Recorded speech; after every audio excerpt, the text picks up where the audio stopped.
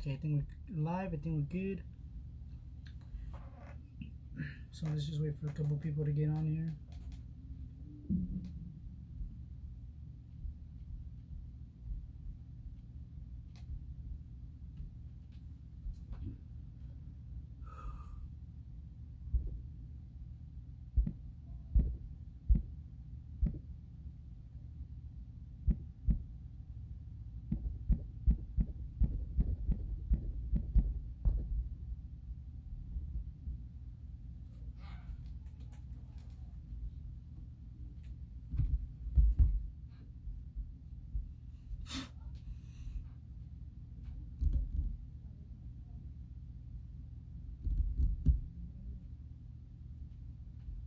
Okay, anyways, let's start.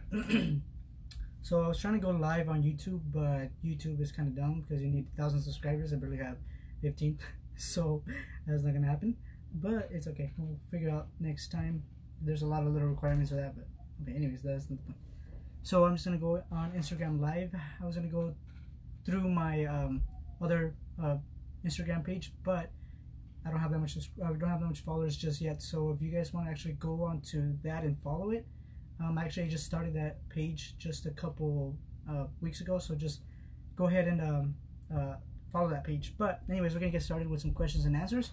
If you guys haven't subscribed to my channel, go to YouTube uh, slash Verse by Verse Ministries, and it's pretty much a channel about going verse by verse uh, through the Bible and how easy it is to understand the Bible. So um, it's pretty easy to understand once you actually you know how, how to read it you know how to read it and also um just if you just read it i mean seriously it's so easy to understand um but anyway so mainly um what i'm gonna do was my hat okay so i'm gonna do a little drawing because we did have a, a little contest on my youtube channel so i'll be doing more contests later on but uh for now we're doing this contest which is basically i just asked you guys to subscribe to my channel uh like, share the video, comment, and that would be pretty much any.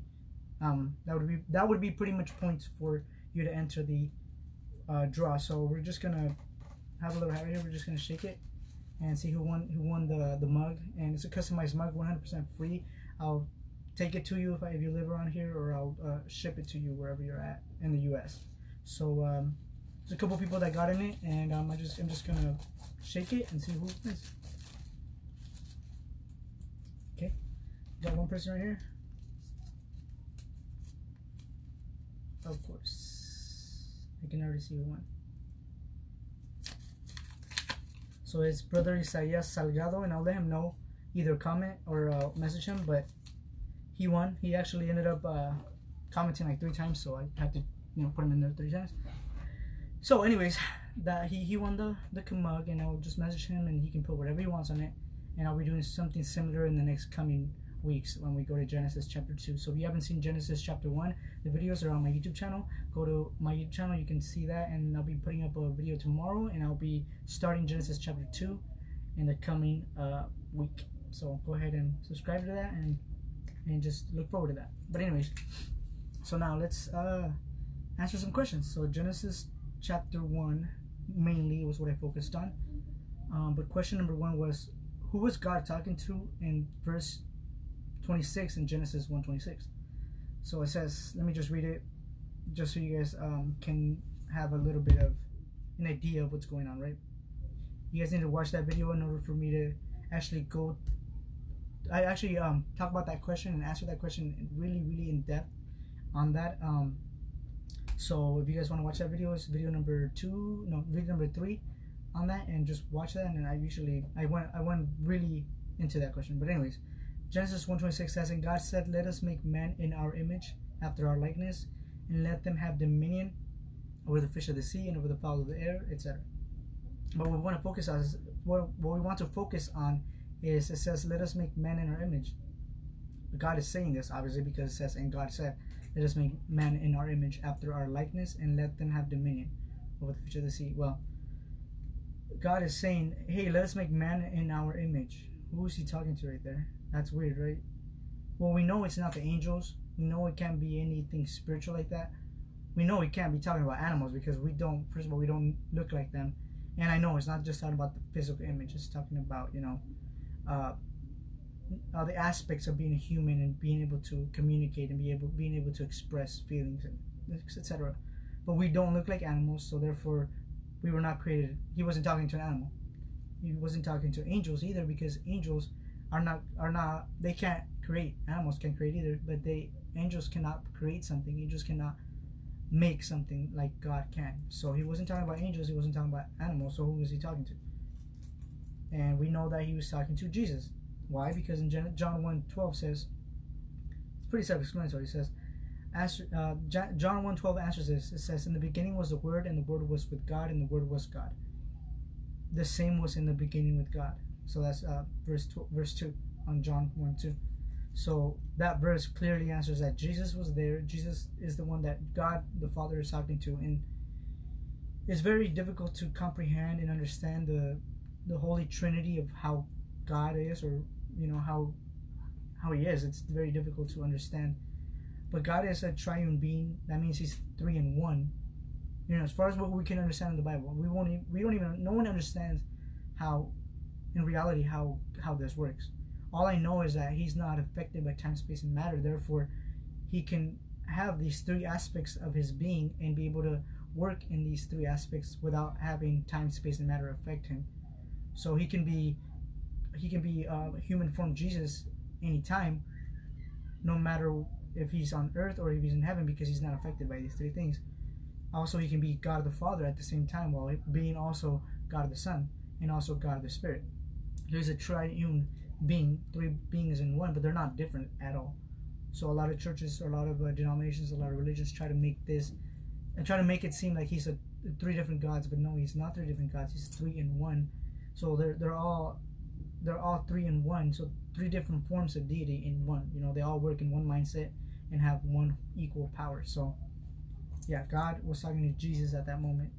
Okay, so and actually, what, cool thing about this, and I mentioned that He made us, He made us um, after His own image. Well, that can also mean literally because Jesus is the image of God. Hence, why He came down to earth, right, as a physical form. Well, his physical form was Jesus, which was way way before he was actually born here on the earth. So, therefore, and Jesus is the image of God in that sense. So it says Colossians 1, 15 and 16 says, Who is the who is the image of God, talking about Jesus, of the invisible God, the firstborn of every creature, for by him were all things created, also talking about Jesus, that are in heaven, that are in the earth, visible and invisible, whether they be thrones, dominions, principalities, powers, all things were created by him and for him. So that's talking about Jesus himself.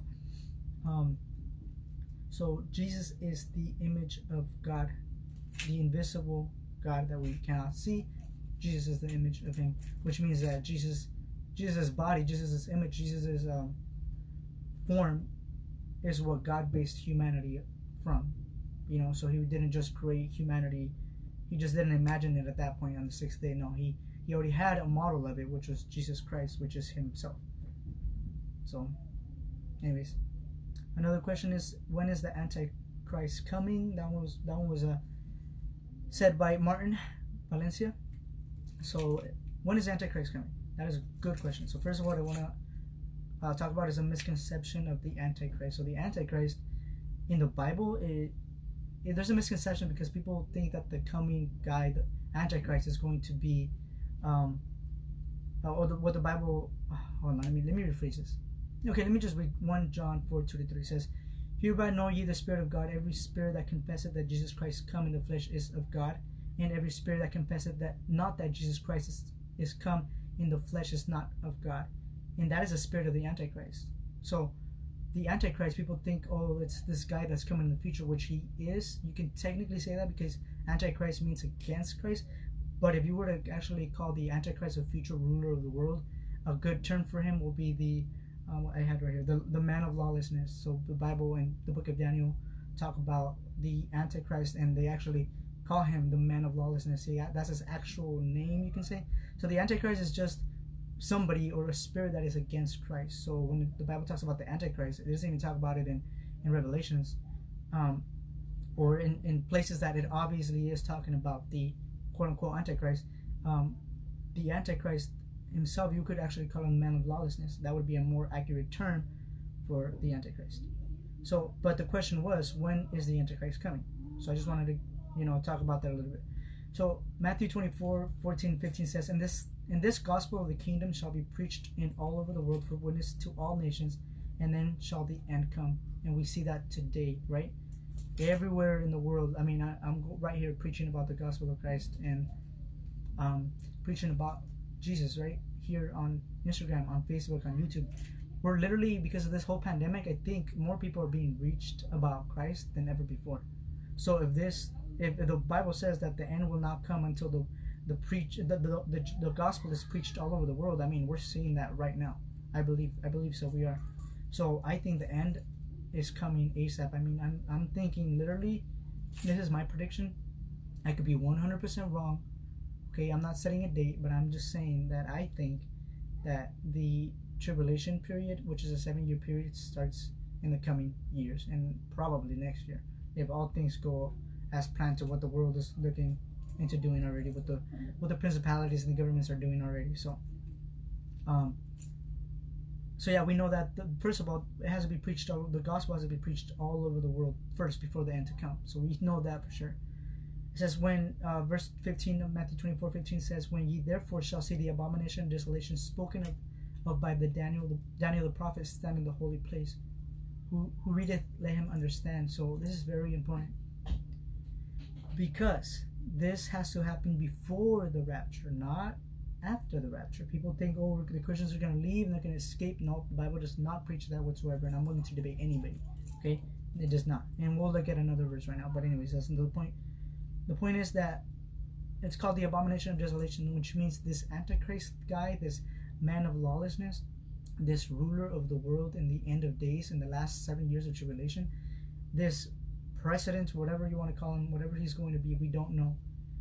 He will not we will not know who he is until he reveals himself. And the way he reveals himself is called the abomination of desolation. It says he stands in the holy place. The holy place, eh, when it talks about in the Bible, it's talking about the, the temple of God um, which we don't have a temple of God per se now. The temple of God is mainly for the Israelites, for the Jews, and we know that that's in Jerusalem, right? Well, we they don't have a temple. They have a temple mount, and there's actually an Islamic temple there, but they don't have the rights to be able to build their temple. Um, in 70 AD, that temple was destroyed, just how Jesus predicted it in Matthew 24, um, or Matthew 23, and so in 70 AD it was destroyed. The second temple was completely destroyed. Now we are I think we're gonna see that happen soon, months from now, probably even maybe years. I don't know. I'm not making a prediction. But as soon as you see that, that's what the Bible says. As soon as you see the abomination of desolation, so this guy, the Antichrist, goes into the third temple in Israel once they built it. They haven't built it yet, and he calls and he makes himself above all things. So he makes himself a god, and he makes everybody worship him and we're not just talking about like worship like you worship an artist right or you, you know you think fondly of them no we're talking about literal worship as in like i'm worshiping god jesus like that so this guy will make himself be like god as god and he will stand in the holy place and this is why it's called an abomination the abomination of desolation the book of daniel talks more about this but i want to read second thessalonians chapter 2 verse 1 through 5 this is very important especially for christians nowadays who think that they will escape the rapture. No, you're not. And a lot of a lot of people who, who preach this, a lot of churches and denominations preach this, also preach about the, you know, the wealth gospel or the gospel of just good things, you know, to you. The the what is it called? I always forget the day name. Um, the prosperity gospel. There you go. Um, that's all they preach about. Oh, you're gonna have great things here on earth. God is gonna bless you, and that is not. It's not saying it's not good. God will bless you, but I'm, what I'm saying is don't focus on those things. The Bible says not to make riches here on earth, make riches there up in heaven. Okay, that's more important than making riches here on earth because the moment we get raptured, we're out of here. What's the point of having a nice car or a nice house? There's no point. Um, so it's very important to understand that you will have to suffer. The Bible says you will be given into great tribulation, Matthew 24. And after the great tribulation, the Son of Man will be seen in the clouds and Luke talks about that specifically, Matthew 24 2.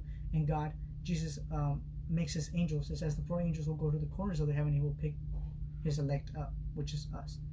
Um, So Second Thessalonians chapter 2, verse 1 and 5 says, Now we beseech you, brethren, by the coming of our Lord Jesus Christ, and by our gathering together unto him, that ye not that ye be not soon shaken in mind, or be troubled neither by the Spirit, nor by the word, nor by letter as from us, as the day of Christ is at hand. Let no man deceive you by any means, for that day shall not come, except there come a falling away first, which we're seeing today, right? People are falling away from the gospel. And as it uh, says, and and the man of sin be revealed, the son of perdition, who opposed and exalted himself above all called God, or that is worshipped, so that he so that he has sitteth in the temple of God. We just read that, right? And showing himself that he is God. So the rapture, it says right there, do not be shaken, do not be troubled by spirit, do not be uh, confused by anybody. Don't let any man, any man deceive you. The, the day, this day, the coming of our Lord Jesus Christ will not come. Gathering into Him will not come until the Son of Perdition, um, the man of lawlessness, the Antichrist, is revealed. And we talk about this right here. It says He will be He will be revealed when He sits on top of the temple and He makes Himself like God and He makes Himself a God. Right? This will be international news. I mean, just look at this guy, this political leader who goes into the temple and makes himself a god. He calls himself a god. This will be huge news. The whole world will see. But that's only going to happen in the middle of the seven year period. What triggers the seven year periods is the signing of a peace treaty and say, um, it says he will make a treaty with many. Okay, um, this Antichrist, we won't know who he is at this time, but he will make a treaty with most likely the Middle East. I don't know, maybe the United Nations. We don't know. We will see that we will see what happens. But he will make a treaty which will allow peace in the Middle East, most likely, and also the building of the third temple, most likely. Therefore, once this temple is built, which I have a prediction of my own, I think that it will be built in three days, just how Jesus predicted it. I know he was talking about his body, but I think there's more to that. So basically, the Antichrist will be revealed in the middle of the seven year tribulation. And I just read Second Thessalonians chapter 2. It says, By the coming of our Lord Jesus Christ and our gathering unto him, this will not happen until the men of lawlessness, the one who opposed himself and exalted himself above all, which is called God, or that is worshipped, he sitteth upon the uh, temple of God, showing himself to be God. So the Antichrist will be revealed in the middle of the seven year tribulation. We won't know who he is three and a half years. But, but will, what will what will start the seven year tribulation is that peace treaty in the beginning. So, very important. Um, it's very important to understand that yes, unfortunately, we are going to be here at, in the in the um, in the tribulation. Unfortunately, all Christians are going to be here. It says after the great tribulation is when Jesus comes. Matthew 24. So I know a lot of churches preach about this and say that, but no. So we won't know who the Antichrist is until the middle of the tribulation, three and a half years into the seven year period. But uh, we will know, we will kind of have a hint. I think people who have the Holy Spirit, people, Christians, will kind of see it, right? Because it says, um, Revelation 6 2 says, And I saw and behold a white horse, and he that sat on him had a bow, and a crown was given unto him. He went forth conquering and to conquer. So this is talking about the Antichrist right here. And uh, read um, read closely what it says. It said it says he sat on him had a bow. The one who sat on the white horse had a bow. And it doesn't mention any arrows. So I think what this means is this guy's going to have power. I mean, his, his voice, Bible also says that his power is, is in the voice. He, he roars roars like a lion, but but he, um, something like that. Um, I have to look into that. I'm not going to even say that because I don't want to misquote the Bible. But he has a bow, but no arrows. Mainly, mainly it's saying this guy's going to go conquer, and most likely with the with the power of his voice. This guy's going to be a tremendous speaker, just like Hitler, most likely, probably even better. One of the greatest uh, political leaders ever. And this guy will go out and conquer. And Revelation 6 2. So, this is what this is what we know. This guy will, will start to conquer in the beginning of the seven year tribulation. Uh, once this peace treaty is is made, um, and then on the, three and a half years in the middle of the seven year tribulation is when he will reveal himself. In the beginning, everybody's gonna think, "Oh, this guy's great. This guy's here to save the planet. This is gonna be do great things." And then three and a half years later is when the tables turn. And us Christians, we know what's going to happen. The Bible says, "Flee." Those are who in Judea flee. Matthew 24. Flee. Go leave. Run far away because the coming of our Lord is, is here, right? So basically, we won't know who the Antichrist is until three and a half years into the tribulation when he exalts himself to be God. But what will we what will we know is the fact that he goes out to conquer, and you know we I think Christians will have an idea of who he is. Um, uh, so there's that. So that was that question. There's another question here. It says, "Is it right to be from the LGBT community? Should we be against it, or what should we do?" So, man, talking about this these LGBTQ community, man, that's it's difficult to talk about, but here we go.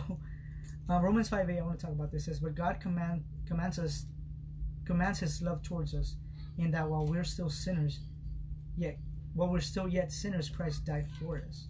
Right? So we need they always say, Oh, we need to uh, God said God, pretty much people say, um, God loves the sinner but not the sin. And yeah, it's important. God does not love the sin, God loves the sinner. We're all sinners and we tend to as humans, we tend to say, oh, this sin is bigger than this sin, but in reality, all sins are the same according to God, according to His Word. So, yeah, um, you know, being LGBTQ, it, it, there's nothing wrong with having an affection towards something. I can have an affection towards, uh, I don't know, uh, lots of money, right? That's there's nothing wrong with that, but when it when it gets wrong is how what, what am I gonna do? How am I gonna act upon it? I can have affection towards uh, I have affection towards other women. If I was married, uh, I would I have affection towards other women, right? But I should only have affection towards my wife. I might have affection towards other women because that's my just my emotions. That doesn't mean I have to act upon those emotions. So, you know, it it's not a sin to be attracted to the same sex per se. But what are you gonna do after that? You know, what are you gonna are you gonna act upon that? That's where it comes. That's the tricky part. That's where God is not okay with, you know, the activity of, you know, of a homosexual. God is not okay with that because it, it goes against nature, you know. And I'm not going to get into too much of it because it's a very, very delicate thing. But I would like to mention sin in the eyes of God is the same thing as if you were to lie, even the widest lie that you think, as to make commit adultery or, or you know, commit uh, homosexual activities. is the same thing towards the eyes of God. So, you know, the Bible says, Matthew 7 1 5 says, Judge not that ye not be judged. For with what judgment ye judge, ye shall be judged. And what measure ye meet, it shall be measured to you again. So be careful how you judge people because you will be judged the same way. So just be careful with that. However, this, that does not say you should also not judge.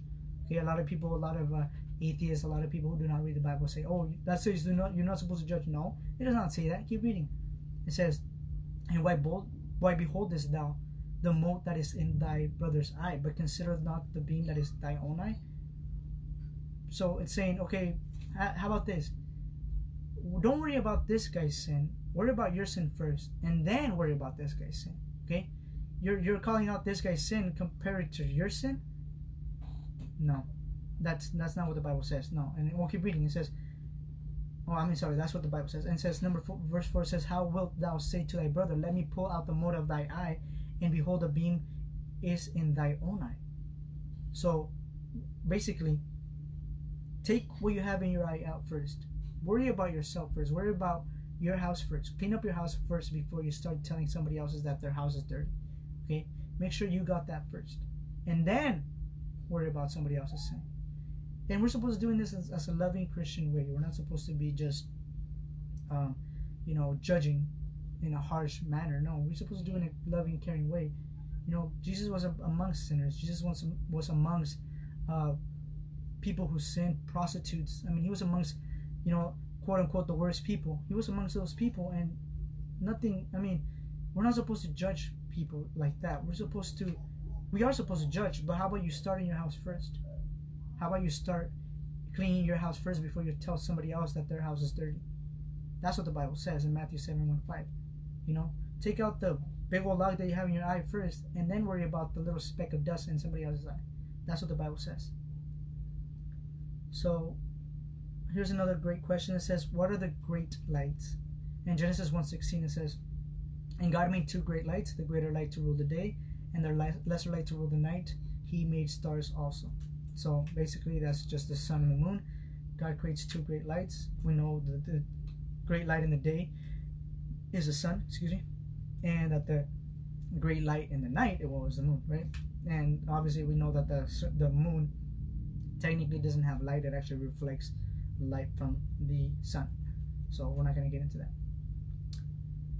It says, uh, so another uh, question from Sonia Lucero says, how do we explain the difference uh, of Catholics and Christians? What should we? And another question was, what should we do to know when the Father is coming, when Jesus is coming? So, how do we explain the difference between a Catholic and a Christian? This is very important. It really, this is this really comes down to your salvation, because there's a big, big difference between religion and and having a relationship with God. Religion are sets of rules that man makes. So I actually wrote this down. It says, um, a religion is a set of rules that man does does to get closer to God using their own righteousness. Meanwhile, meanwhile God says, Ephesians 2, 8, 9 says, For by grace are ye saved through faith. And that not of yourselves. It, it is a gift of God, not of works, lest any man should boast. So religion is a difference between Christianity and Catholics. Um, there's a lot of great Catholics, man. There's a lot of good Catholic people. I used to be Catholic, but being Catholic is not going to save you. What's going to save you is having a relationship with Christ. Going to church is not going to save you. I can go to church every single day, but if I don't have Christ in my heart, I'm going straight to hell. Why? Because it's not about going to church. It's not about being a good person. It's not by work, so that you cannot, so you won't boast. So and so, what are the biggest differences? The biggest differences would be that I think that many people just go to church on Sundays, many Catholics, but there's no change in them. Um, you still see them, you know, still cuss. You still see them uh, drink, you know, and uh, and obviously I'm not perfect, you know, but what I'm saying is there has to be a, a dramatic change. There has to be a contrast in the change. When you're born again, you're born again. That means you're not the same. So that's very important. Um, but Idolatry is one of the biggest things. Exodus 23 4 to 5 says, Thou shalt have no other gods before me. Thou shalt not make unto thee any graven image or any likeness of anything that is in heaven above, or that is in the earth beneath, or that is in the water under the earth. Thou shalt not bow down thyself to them, nor serve them. For I, the Lord thy God, am I a jealous God. So this is one of the biggest things. They uh, Catholics tend to have all these gods, and I know they don't call them gods; they call them saints. But there's no difference. You're still worshiping them. You're still idolat, and they're still called idolatry because you're still worshiping them. You're still worshiping them, worshiping them like God, even though you think that God the Father or Jesus is bigger than all the other saints. They're still gods. You're still treating them just like Jesus is. In fact, I would argue that some Catholics treat you know their their saints even higher than uh, Jesus. For for for example, Mary, they treat her a lot more. Uh, you know, I guess you can say they, they treat her more like a god than actual Jesus. Um, so idolatry is one of the biggest things in the Catholic religion. They think and they say that they don't call them gods, that they only have one God, but they treat them just like gods. So that is very, very important. That's one of the biggest differences. So aside from that, is basically is a difference between religion and a real relationship with God. Um, religion is not going to save you. Just because you're a great person is not going to save you. Because we don't measure up to what God calls good. God calls good. You know what He calls it? He calls it excellence, moral, moral excellency, or how do, how do I say that? Uh, excellent morality. There you go. So to God, being good is being completely perfect. Nobody's perfect. The only one that was willing, uh, perfect enough, not perfect enough. The one that was perfect completely was Jesus. This is why he came down and did everything that the law, he fulfilled the law, and he died for our sins. And Ephesians two eight nine says, For by grace you are saved through faith, and it is not of yourselves, it is a gift of God. That's it. So you can go to church every single day of your life, and if there's no change, if you don't accept Christ, I'm sorry, but that's what the Bible says, you will go straight to hell because you are uh, you are focusing on your good works. You're putting all your salvation on your good works when in reality it's not about your good works. It's about God. It's about Jesus. Her other question was, what should we do? What should we do know? Well, what should we do to know when the Father is coming? So when is Jesus coming? I'm guessing that's what she meant. Excuse me. Um, I would say, I would say this. Matthew 24 7. Nation will rise against nation and kingdom against kingdom. there will be famines and earthquakes in various places. So once you start seeing these things, you need to worry. And I don't know if you've seen the news around you or go on Facebook or whatever, but man, oh man, is there things going on in the world right now? There's famines. I mean, this COVID nineteen, and not even not even just this, um, this whole pandemic, and we also have, um, you know, in Africa, all the way even to France. I was just reading today that these these locusts never ever before seen in hundreds of years are multiplying and multiplying like mitosis like cells just multiplying and they're causing famine all over africa you know starting to get up there in in, um, in europe and man I, I, not only this but we also have this pandemic to deal with i mean dang these things are going on and we're seeing a lot of you know nations rising against nations we see the tension between china and the us we see the tension between uh, Russia and the U.S. We see the tension between North Korea and the U.S. I mean, we just saw that in the beginning of the year. Um, earthquakes. Don't even get me started on earthquakes. Right now, we're actually seeing a dramatic increase in earthquakes in various places I've never seen before. In fact, there's probably going to be an earthquake soon. You know, I'm not predicting this, but man, hold on, California. There's to be a huge earthquake that will, man, will do great things. Um, not good things, but great things. Um, so earthquakes we're seeing a lot of tsunamis right now there's a tsunami going to hawaii man i i'm praying for that for that whole the whole the islands because I, I love going there every single year and um, you know because of this pandemic i wasn't able to go this year so hopefully if this clears up we might be able to go by the end of the year but we'll see um, but we're seeing we're starting to see all these things so when you start seeing these things man you need to look up because your redemption is near and this is exactly what luke says in luke 21 verse 22 to 28 28 it says for these be the days of vengeance, that all things which are written may be fulfilled. But woe unto them that are that are with child, and them that give suck in, in those days, for there shall be great distress in the land, and wrath, wrath upon his this people. Notice how it says this people. Okay, and they shall uh, fall by the edge of the sword, and shall be led away captive into all nations, and Jerusalem shall be trodden down of the Gentiles until the times of the Gentiles be fulfilled time of the Gentiles will be fulfilled. And there shall be signs in the sun and the moon and the stars, and upon the earth the distress of nations with perplexity, in the sea and the waves roar, the waves roaring. We're seeing that this weekend. There's two huge uh, tsunamis going uh, near Texas and actually near uh, Hawaii. So, you know, things are coming. Men's hearts failing them for fear and for looking and looking after those things which are coming on the earth. For the powers of heaven shall be shaking. So, if you think this is crazy, this is nothing compared to what's going on, what's going to happen. God will shake down the heavens and the earth. The powers of the heaven will be shaken down. So crazier things things are coming. And then it says, verse 27, They shall see the Son of Man coming in the cloud with power and great glory. This is this is the sign. It says when these things begin to come to pass. So we're talking about the beginning of all these things that happen: earthquakes, famines, uh, kingdoms rising against uh, other kingdoms, and rumors of wars and wars. And um, you know all these things when you start seeing all these things being fulfilled it says look up and lift up your heads for your redemption draws near. So we're starting to see these things happen right? So i think honestly that jesus is coming soon soon soon soon um, i'm thinking if if he's if he came here around 28 ad when he left you know, when he died and resurrected, I'm honestly thinking that this is my prediction, but I think that he will come back because God comes on time. Um, 2,000 years exactly later, which would put it to, to 20, 2028 AD, or yeah, AD, which is literally in like seven years, 7.5 years. So, presumably, I think that the tribulation will start next year. I think. I'm, this is just my prediction. I've been looking at everything. And I look at the evidence and I think that if it's not starting next year, it's starting soon, real, real soon. But man, you should really get prepared. And, and sadly, and I'm not even, I wouldn't even say sadly, but man, Jesus is coming and, and the tribulation is coming, and we're going to be in the great tribulation.